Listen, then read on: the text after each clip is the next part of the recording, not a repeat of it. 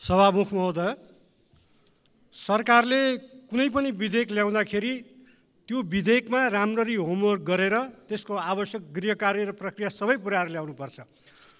संसदमा विधेयक प्रस्तुत गर्ने दर्ता गर्ने संसदमा पेस गर्ने त्यसपछि त्यो विधेयकको भावना विरुद्ध र संविधानको भावना विरुद्ध बाहिर आन्दोलन भयो भनेर त्यो विधेयकमा हाल्ने भनेर सम्झौता गर्दै हिँड्नु उपयुक्त होइन। त्यस्तो सम्झौता गर्ने हो भने विधेयक प्रस्तुत गर्नुभन्दा अगाडि त्यस ती सम्झौताका बुदाहरूलाई विधेयकमा सामेल गरेर संसदमा प्रस्तुत गर्नुपर्छ। यो त संसदलाई अप्ठ्यारो पार्ने काम सरकारले गर्यो। अब शिक्षकहरूसँग र राहतवाला शिक्षकहरूसँग सरकारले गरेको सम्झौता यो विधेयकमा कसरी कर्पोरेट हुन्छ? सरकारले सम्झौ त्यहाँ सम्झौता गर्यो तर सरकारले त्यो गरेको सम्झौता यो संसद मान्न बाध्य छ? बाध्य छैन। संसदले विधेयक आफ्नो विवेकले बनाउँछ। आफ्नो दृष्टिकोणको आधारमा संसदले विधेयक बनाउँछ। तर सरकारले त्यो विधेयकमा प्रस्तुत गरेका र संविधानका भावनाभन्दाका विपरीत सम्झौताहरू गर्दै हिँडेपछि त विधेयक बनाउनु त गाह्रो होला। धेरै लामो समयपछि धेरै वर्षपछि यो विद्यालय शिक्षालाई सम्बोधन गर्ने विधेयक आएको छ। तर त्यो विधेयक पनि पूर्णाङ्ग भएर आएन पूर्ण तयारीका साथ आएन विधेयक प्रस्तुत गर्दा अनेकौँ सम्झौताहरू गर्दै सरकार गएको छ। यो विधेयकलाई प्रस्तुत गर्ने बिल्कुल उल्टो तरिका भयो। आइन्दादेखि सरकारले यस्तो नगरोस्। वास्तवमा भन्यो भने त संसदले एसर्ट गर्ने हो भने त यो विधेयकलाई फिर्ता गर्नु पर्थ्यो।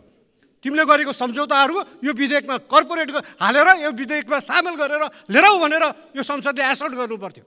गर्नु पनि पर्छ परेको बेलामा। संसदलाई हेर्न पाइँदैन नि सरकारले। संसदको कार्यक्षेत्रलाई ओभरल्याप गर्न पाइन्छ। विधेयक संसदमा दर्ता भएको छ।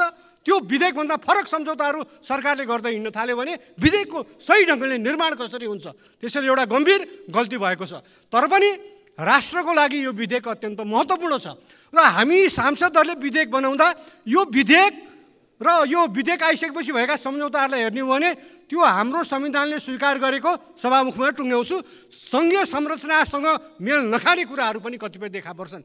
त्यसैले यो विधेयकलाई संविधान सम्मत बनाउनुपर्छ र सरकार सबभन्दा पहिला क्लियर हुनु पर्यो सरकारसँग आँट पनि हुनु पर्यो उसले सङ्घीय संरचनामा विद्यालयको शिक्षा स्थानीय निकायलाई सम्पूर्ण रूपमा सुम्पेको हो भने त्यही ढङ्गले जानु पर्यो त्यसको विपरीत आउने कुराहरूलाई सामना गरेर जानु पर्यो संविधानसँग पनि बाजिने अनि ठाउँ ठाउँमा सम्झौता गर्दै जाँदाखेरि त यो विधेयकले खोजेको शिक्षाको क्षेत्रमा जुन सुधार हो विद्यालय शिक्षाको क्षेत्रमा जुन सुधार गर्न खोजेको त्यो सम्भव हुँदैन।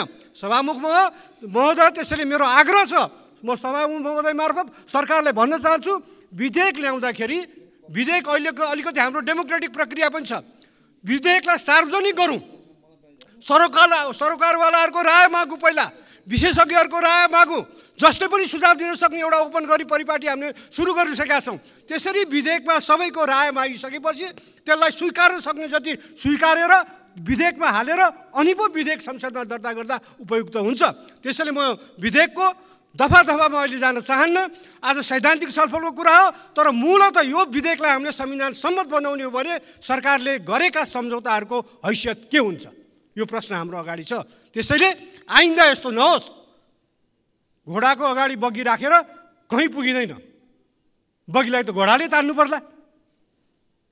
त्यसैले विधेयक ल्याउने भनेको कानुन निर्माण गर्ने भनेको अत्यन्त जिम्मेवारीपूर्ण कुरा हो।